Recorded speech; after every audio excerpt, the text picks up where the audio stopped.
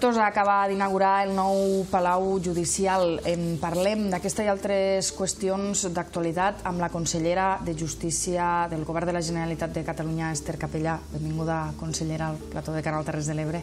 Moltes gràcies. Gràcies per convidar-me. Ja sabeu que m'agrada venir a les Terres de l'Ebre i m'agrada compartir amb vosaltres doncs, del que fem des del govern. Una inversió de 5 milions d'euros també en l'única nova construcció judicial a Catalunya respon a una llarga reivindicació històrica i per fi podríem dir que, que ja s'ha inaugurat, ja ha obert portes el nou Palau Judicial. Efectivament, és, eh, jo positivitzo el que avui hem fet, positivitzo doncs, la feina ingent que ha representat doncs, materialitzar aquest projecte que era una reivindicació de Tortosa i també de, doncs, de, de, de tots el, els 14 municipis als que ha de donar resposta aquest, aquest edifici judicial amb els òrgans judicials, doncs els que ja són existents eh, i, i per tant en aquesta nova, en aquesta nova seu judicial deia que un esforç ingent, el que hem d'agrair-li al, al conseller que em va precedir en la, en la conselleria, el conseller Mundó, qui és que en el, en el mes de febrer, si no recordo malament, del 2017, doncs arriba a l'acord i, per tant, inicia el projecte per materialitzar el Palau de Justícia que avui tenim a Tortosa i a nosaltres ens ha tocat doncs, aixecar les parets i, i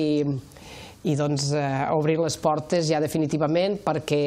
hi comenci a haver activitat eh, judicial, perquè la ciutadania hi accedeixi en les millors condicions. Eh, ho han sentit dir moltes vegades, ja ho vaig dir fa un any quan vaig venir a fer la visita d'obres, que estava, doncs encara estàvem lluny del que avui veiem, i doncs, els edificis han de respondre al servei públic que han de prestar que, i a més a més han de ser espais eh, adreçats a la ciutadania,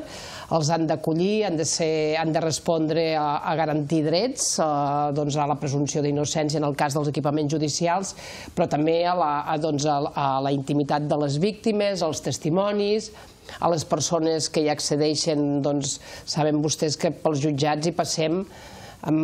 tots hi passem o hi, hem, hem passat, perquè no únicament en el jutjat, sinó al registre civil, per actes de la vida, ja sigui perquè et cases, ja sigui perquè inscrius un naixement, ja sigui perquè eh, doncs, tens un judici, ja sigui per no sé què, però doncs, formen part de la nostra realitat eh, vital. I per tant doncs, són servei, és un servei públic i ha de ser el millor servei públic perquè garanteix drets i llibertats.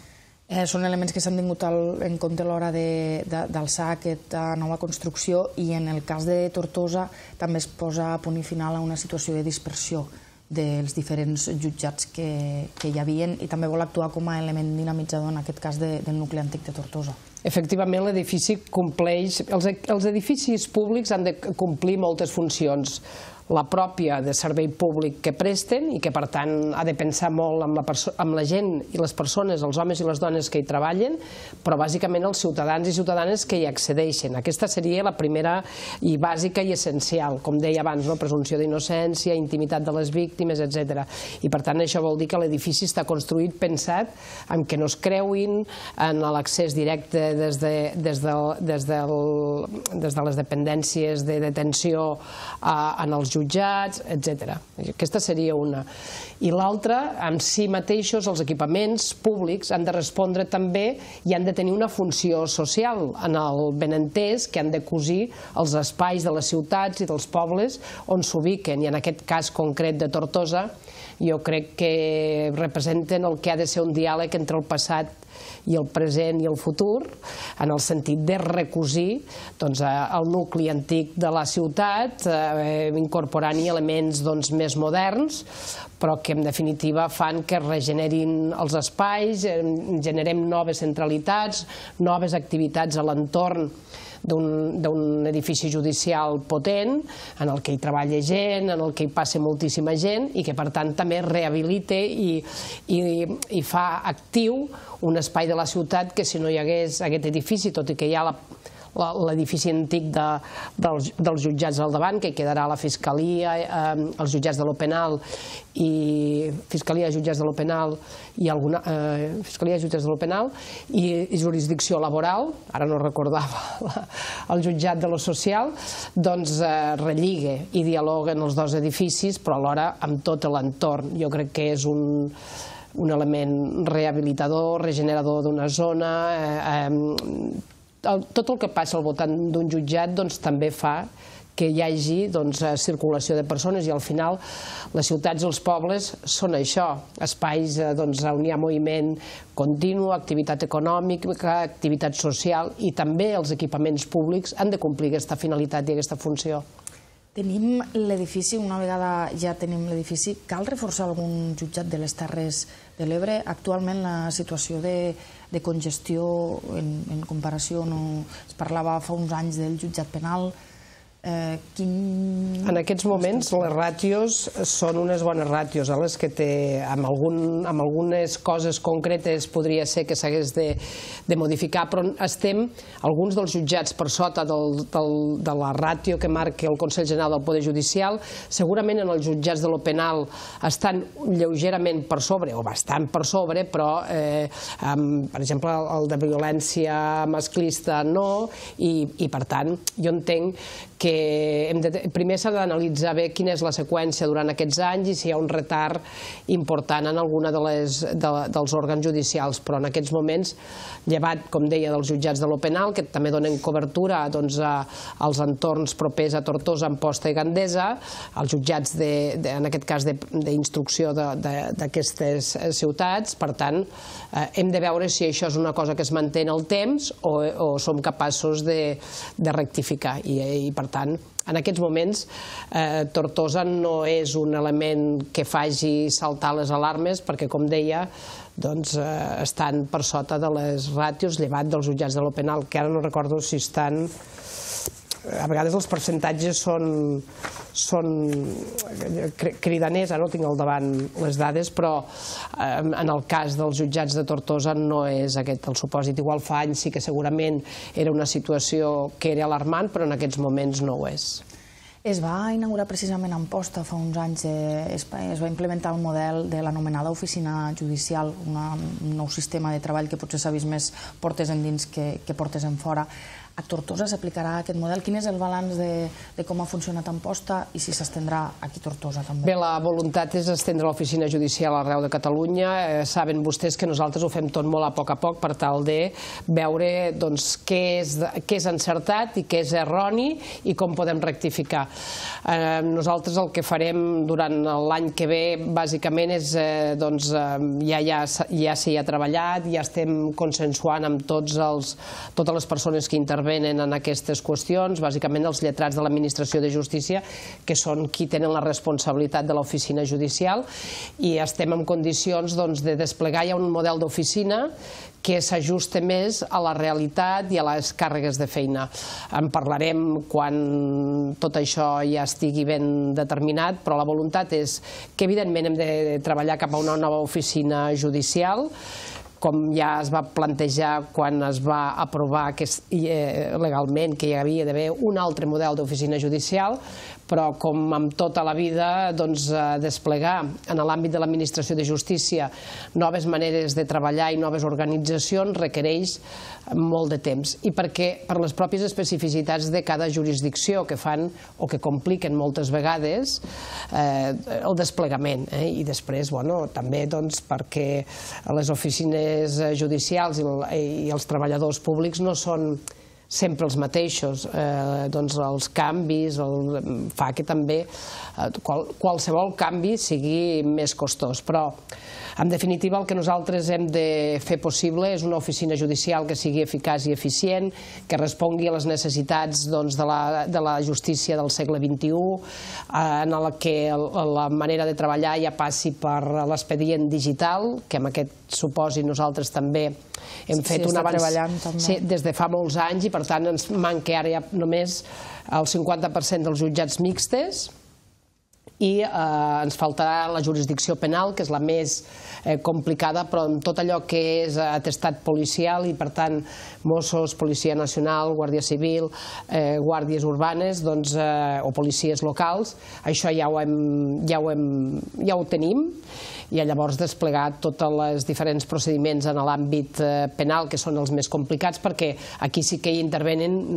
múltiples parts, no és dos parts, sinó que n'hi ha unes quantes més, i això dificulta doncs, la plataforma.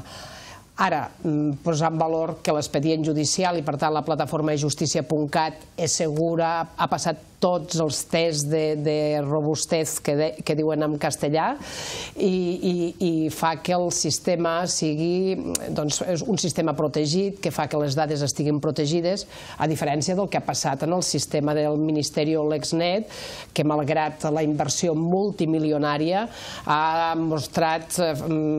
comentava l'altre dia la fiscal general de l'Estat, que feia 15 dies que havia saltat també doncs, pels aires eh, eh, en un moment determinat, és a dir, que s'havien filtrat o que havia, havien,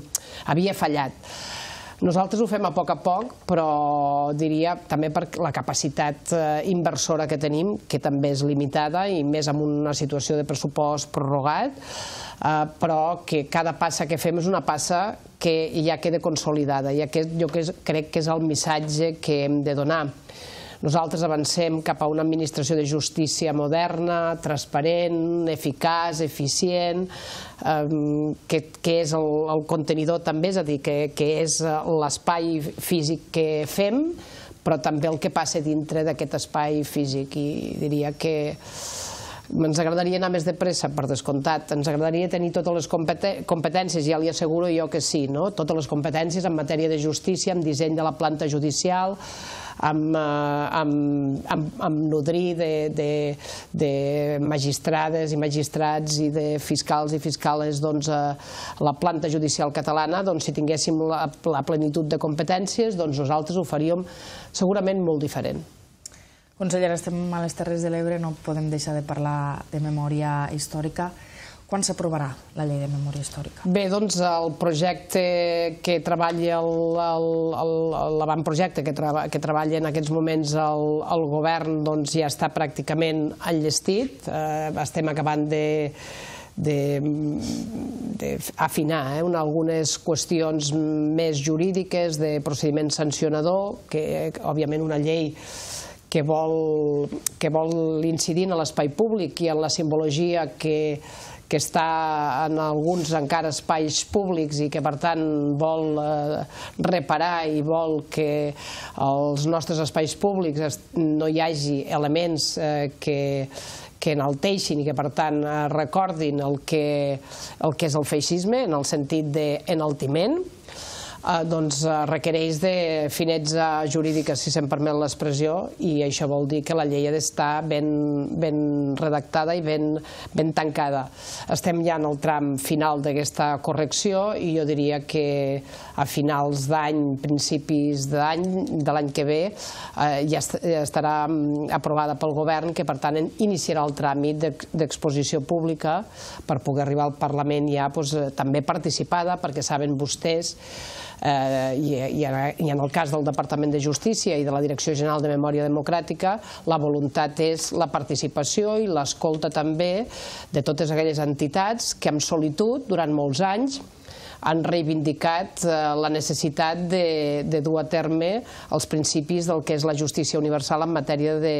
de, de memòria històrica. No? Eh, eh, veritat, justícia, reparació i condicions de no repetició. I en les condicions de no repetició està la simbologia i els elements que encara estan molt presents en, en els espais públics del país eh, i que per tant eh, doncs això vol dir que ens permetrà actuar i ens permetrà actuar de tal manera que hi ha determinats elements que no hi han de ser. No sé si responc la seva pregunta. Podríem parlar del cas de, de Tortosa. La llei de memòria històrica podem afirmar que suposarà la retirada? Sí, sí, sí. Eh, és, és d'una evidència eh, palmària, eh, en aquest sentit eh, doncs, eh, a ningú se li escape el que significa. És veritat que el no haver explicat què significava allò durant molts anys, perquè estàvem sota la, sota la bota d'una dictadura, doncs eh, és veritat que va ser normalitzat per la ciutadania. Per què? Doncs perquè eh, formava part de l'exaltació del règim i formava part no, de, de l'enaltiment de, de la victòria i, per tant, d'un règim feixista. El règim franquista és un règim feixista, malgrat se l'ha anat endolcorant al llarg dels anys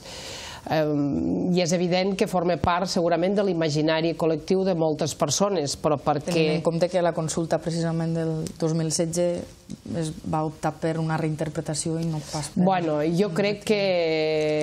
les coses són a vegades difícils de reinterpretar. I llavors eh, és evident que la reinterpretació no repare i en aquest cas un dels principis fonamentals de la justícia de la justícia universal i per tant, com deia jo, els principis que Nacions Unides eh, doncs, eh, determina que han de ser eh, respectats per les societats democràtiques quan es parla de memòria històrica, deia, no?, veritat, buscar la veritat, què és el que ens ha passat, fer justícia, justícia amb aquella part de les persones i ciutadans i ciutadanes que van veure malmesos els seus drets fonamentals i que, per tant, alguna d'aquestes qüestions, la justícia doncs, ja arriba molt tard a l'estat espanyol. I nosaltres, a Catalunya, hem fet els deures d'una forma, doncs, jo li deia, no?, eh, atenent també en un context pressupostari, eh, polític complicat, però ho hem anat fent. Justícia, bàsicament. Justícia, s'ha de fer justícia, s'ha de reparar s'ha de ressarcir i hi ha moltes maneres de reparar. Una és la, el reconeixement públic a, a les víctimes, el reconeixement, que nosaltres ho fem de moltes maneres diferents, els certificats de nulitat dels procediments judicials, que és una llei aprovada, eh, una llei instada i, per tant, eh, gestada en el Departament de Justícia pel conseller Mundó, aprovada en el Parlament de Catalunya per unanimitat, eh, la, el desenvolupament del Pla de Foses, eh, fruit de, de, la, de la feina ingent del conseller Romeva i, per tant, també ell dirigint les polítiques de memòria, i deia eh, reparar, donar eh, dignitat eh, i dignificar allò que algú ha volgut amagar durant molt de temps. I després eh, establir mecanismes i condicions de no repetició, és a dir, tenim un deure de present però també de futur per les noves generacions que, que el que ens va passar doncs, explicar-ho perquè no torni a passar. I aquest és l'element que ens obliga a, a, a intervenir en l'espai públic i en, i en la manera d'explicar les coses. I va per aquí el tema. I ja entenc eh, que, com deia, algú o alguns o algunes persones acabem, acabem i ho dic totes plegades, hem acabat normalitzant espais, eh, monuments, perquè ningú ens va explicar què representava allò. Era natural, era normal, perquè eh, ningú va explicar que allò tenia tot un component negatiu que tenia a veure doncs, amb una rebel·lió, un aixecament militar, que va, doncs, es va aixecar contra un règim legalment establert, que era la república, i que va arrasar amb tot el que hi havia pel davant, i quan dic arrasar vull dir en una societat democràtica i vam acabar amb una societat que no, no democràtica, és a dir, un règim eh, feixista, que com deia, insistiré i ho diré les vegades que convingui, durant molts anys doncs se l'ha presentat com, com a light i només cal veure i llegir, rellegir els milers de represaliats, eh, les persones que encara resten en les foses comunes i en, les, en els marges de les nostres carreteres eh, que van ser doncs, afusellades a la nit eh, de pressa i corrents eh, eh, i els van deixar a la intempèrie moltes vegades en, els, en les parets dels cementiris d'arreu del país. I en tenim un deure ètic, és un deure moral, és un deure envers amb ells que, i elles que ja no hi són, però sobretot eh, a les persones que alguna vinculació afectiva hi poden tenir perquè per tancar els dols i començar a recordar, doncs hi ha d'haver aquesta feina de reparació i amb això estem. I per tant, això vol dir també en els espais públics hi ha una simbologia que no hi pot estar present i que hem d'explicar per què no hi pot estar present. En el cas de Tortosa, qui se n'ha de fer càrrec del cost de retirar-lo? La llei pre ha de Bé, la llei, preveure preve, ajuts la llei econòmics? preveurà de quina manera, però vostès no es preocupin que el Departament de, eh, de Justícia farà tot allò que calgui perquè no hi hagi excuses possibles. Aquí a les Terres de l'Ebre vam rebre la seva visita també en dues setmanes a, a les Camposines. També amb aquest retorn d'ossos s'està treballant en el programa d'identificació genètica, creuant dades de, de familiars i de persones que es van trobant encara a les cunetes, com deia, i s'està treballant també amb el pla de fosses en paral·lel. Aquí a les Terres de l'Ebre ja se n'han obert unes quantes fosses. Eh, en quin punt està el pla que preveu en els propers mesos? Bé, nosaltres continuarem primer eh, encreuant eh, dades d'ADN I, i jo aprofito que em donen l'oportunitat també per, per de nou fer una crida a aquelles persones que poden tenir eh, doncs, eh, la certesa que tenen algun avantpassat seu que va morir en la batalla de l'Ebre o que pugui estar en alguna de les foses que ja hem obert eh, doncs que, que, que, eh, que busqui, bueno, que, que s'adreci als serveis territorials del Departament de Justícia aquí a les Terres de l'Ebre per tal de doncs, facilitar les seves mostres d'ADN per tal de que puguem fer l'encreuament.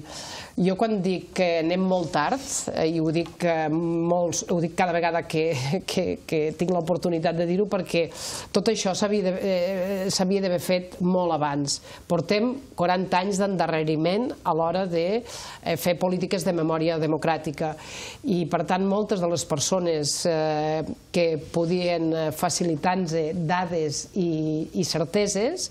per ubicacions, per saber on hi ha una fosa, per saber eh, quanta gent es va af- afusellar a la tàpia d'un determinat cementiri, ja no hi són. Ja han mort. Part de la informació eh, que podríem tenir és molt sesgada i, per tant, la feina encara és més complicada. Has d'anar eh, a- al voltant de l'apertura d'una fosa i, per tant, després a la, la possibilitat d'extreure mostres d'ADN de, les restes òssies que trobem i encreuar-les amb les dades genètiques que tenim, doncs eh, hi ha tota una feina que és de documentació, una feina antropològica però alhora històrica, de memòria, no? moltes vegades memòria oral que es transmet de pares a fills i que llavors les ubicacions no les acabem d'encertar moltes vegades. Però en tot cas, vaig al que, a la crida. La crida és a que les persones que puguen tenir indicis que tenen algun familiar que va morir en, el, en, la, en la batalla de l'Ebre, en, en, durant la Guerra Civil, aquí a les Terres de l'Ebre, ara m'adreço a les persones de les Terres de l'Ebre, o afusellades en algunes de les situacions que es van produir en els judicis sumaríssims, doncs això, que els serveis territorials de, la, de justícia a les Terres de l'Ebre doncs facin la tramitació per tal de que se'ls estregui mostres d'ADN i poder fer encreuaments. Tenim, en aquests moments, si no recordo malament, 2.000 eh, eh, 2.000 mostres per encreuar. Eh, és, en fi, és molt insuficient tenint en compte el nombre de persones que resten amb les fosses, que es calcula amb més de 20.000 persones, més les persones que van morir en el camp de batalla i que trobem amb algunes de les trinxeres encara i que se'n troba arreu. L'altre dia a la Fatarella, al, al, al memorial de les Campusines, em recordava eh, un senyor eh, que té uns terrenys al voltant d'aquella zona que ells no paren de trobar restes i que els hi fa, doncs, eh, bueno, eh, eh, ens neguiteja, no? perquè, eh, doncs, com deia abans, eh, tots plegats hem de tancar dols. El memorial de les Campusines ens permet tancar aquest dol col·lectiu perquè el que fem és doncs, anar eh, posant plaques amb els noms de persones a mesura que anem identificant doncs, familiars que ens diuen i que podem contrastar que efectivament amb les dades eh, de registres i d'hospitals de campanya, eh,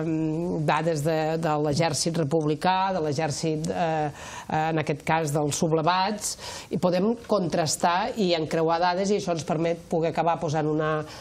una placa amb els noms i anualment eh, doncs, hi anem incorporant a mesura que tenim identificades. Això és una manera de,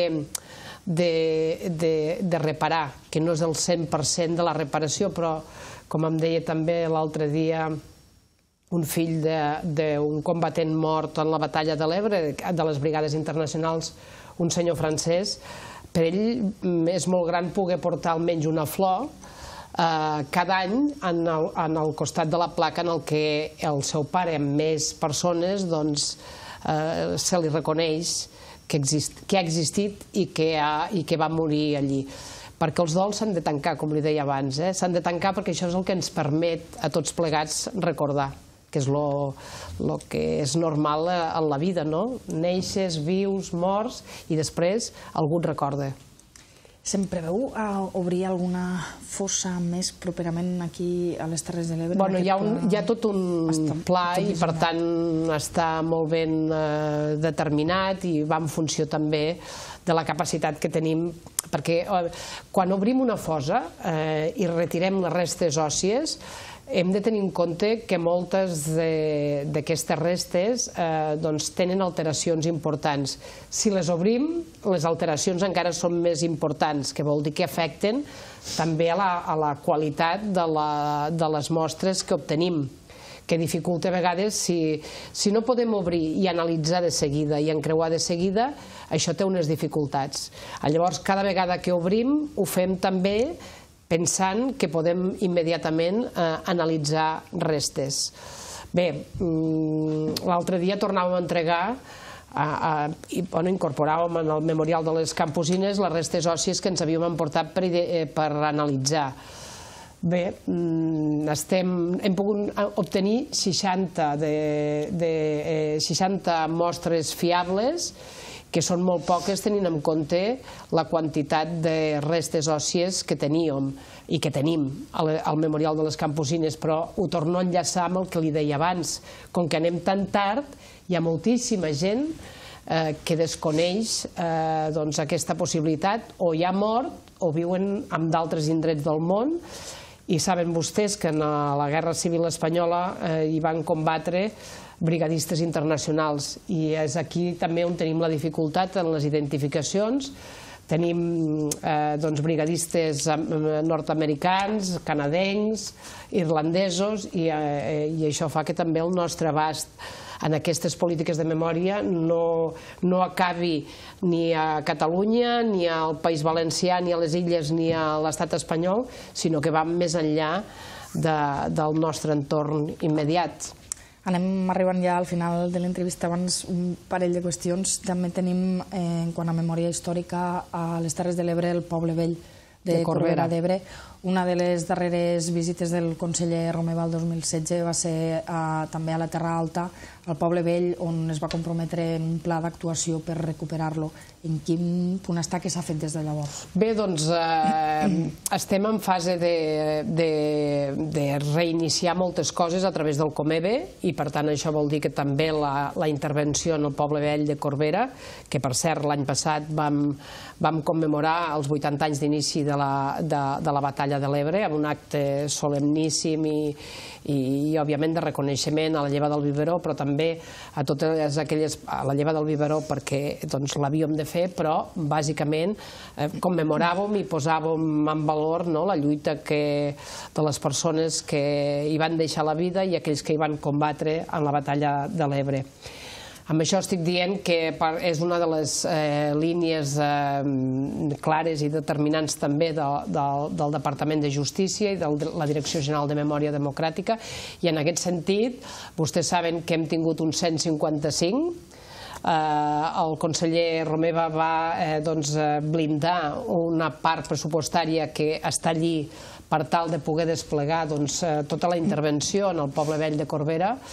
i, eh, i la voluntat és de fer-ho. Eh, deia, un 155 que va alentir i va ralentir tot allò que, que desplegàvem com a govern de Catalunya i que, com deia, eh, doncs, eh, tornar a començar no és tan senzill un nou govern amb modificacions també doncs, eh, l'assumpció de les competències per part de justícia, reestructuració també de la direcció general i també això vol dir que mm, la, la, tot això també ha d'acabar eh, doncs, eh, afectant a tots els àmbits de memòria democràtica i a totes les, en aquest cas, els consorcis que també treballen la memòria democràtica. I això vol dir que el Comebe, doncs, en aquests moments també eh, em consta que hi ha voluntat de més ajuntaments de, de les Terres de l'Ebre d'incorporar-s'hi per doncs, treballar conjuntament. Saben que és un consorci participat, govern, eh, ajuntaments i que és la manera no, de, de, de, de fer-nos ecopartíceps de totes aquestes intervencions i, òbviament, eh, en aquest moment també d'ampliació, nosaltres el que, el que farem és eh, doncs, també eh, reactivar aquesta, aquesta acció concreta i moltes altres que és de doncs, reparar tota aquesta, aquesta senyalització dels espais de memòria, millorar-lo, eh, doncs, ubicar d'altres indrets, perquè és una voluntat també d'ampliar i senyalitzar,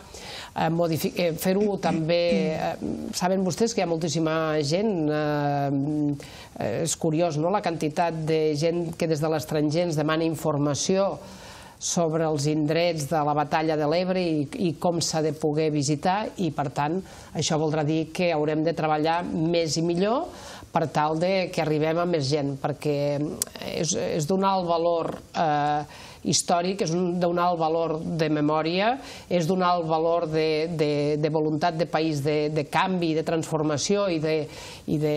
record per tot el país. I per tant eh, doncs, eh, la modernització també dels espais ens, eh, ens jo dic que el, el, el segle XXI també ens interpel·la perquè molts d'aquests espais han d'arribar doncs, a les escoles, a, no als centres educatius només de Catalunya, sinó que han d'arribar a més llocs i, per tant, en aquest, en aquest punt estem, eh, de, també de millorar el que fins ara hem estat fent. Eh? I en aquest sentit, eh, doncs la partida continua allí eh, que no s'ha gastat, i, però que en definitiva la voluntat és de fer totes aquelles intervencions perquè eh, hi ha la voluntat eh, política clara de, de que aquell espai recordi el que ens va passar. Uh, arribem al final de l'entrevista molt, molt breument, si em permet, dos qüestions Ja sé, però el que jo li explico és tan intens sí. que, que necessita tots els matisos. Um, dos preguntes. Um, L'any que ve ha d'haver eleccions a Catalunya i una altra, Esquerra Republicana ha d'investir Pedro Sánchez. Bé, són dues preguntes que són de difícil resposta. Vostè em diu sí o no? Pues, doncs està plena de matisos. Eh, jo crec que eh,